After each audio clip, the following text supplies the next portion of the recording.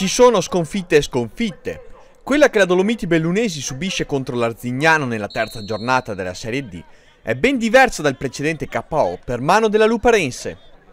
Al cospetto di una delle grandi favorite alla vittoria del campionato, i Dolomiti ci vanno vicini ad un punto in condizioni difficili, considerata la doppia inferiorità numerica. Ripercorrendo comunque con ordine i 90 minuti, c'è da dire che dopo un buon inizio prendono campo i vicentini, che al ventinovesimo passano sugli sviluppi di un'azione avvolgente, conclusa in rete da Pasqualino. A complicare le cose ci pensa il secondo giallo sventolato a Peggi 4 minuti dopo, e così l'operazione rimonta si fa sempre più difficile.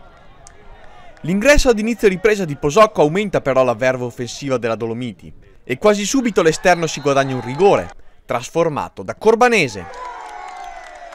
Al 54esimo altro episodio chiave con un tocco neppure chissà quanto esagerato di Onescu in area di rigore.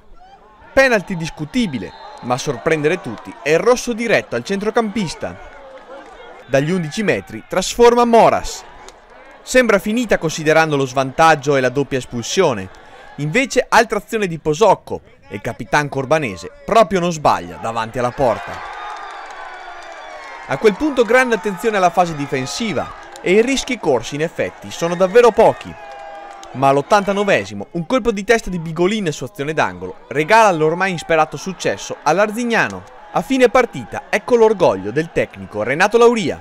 Bellissima prestazione dei ragazzi, eh, fare non so quanti minuti in 9 eh, contro 11 e tra l'altro non subire neanche tiri in porta. Eh, bravissimi ragazzi, si meritavano molto di più, ma andiamo avanti serenissimi, questo è un grandissimo gruppo.